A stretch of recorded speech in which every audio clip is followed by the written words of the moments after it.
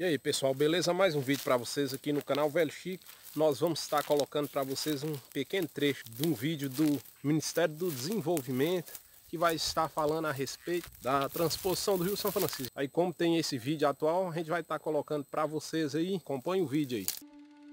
Eu trazia um carro pipa para salvar, colocar aqui nessa cisterna.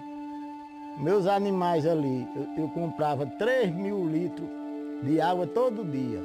Emociona, sabe? A gente sofreu demais. Mas para tudo tem o dia e a hora.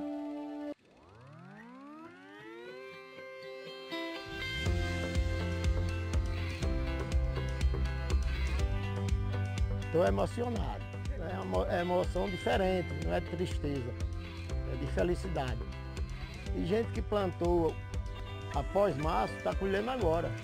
Plantou muito milho e está colhendo agora. Estava tudo seco, não tinha nada. Todo dia a gente abre essa torneira, tá água, viu, para tudo.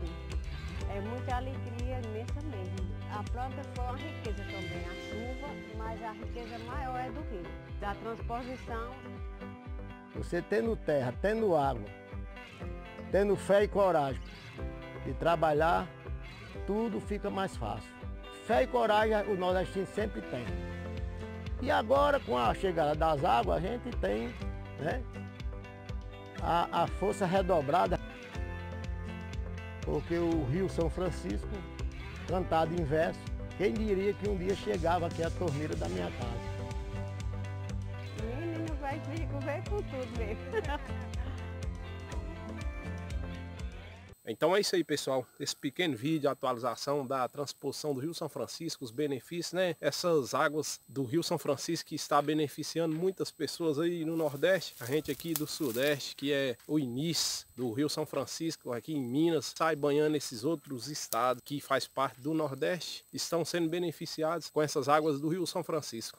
A gente deixa um abraço para todos aí do Nordeste e todo mundo que acompanha o canal Velho Chica aí também. Um abraço para todos vocês, beleza?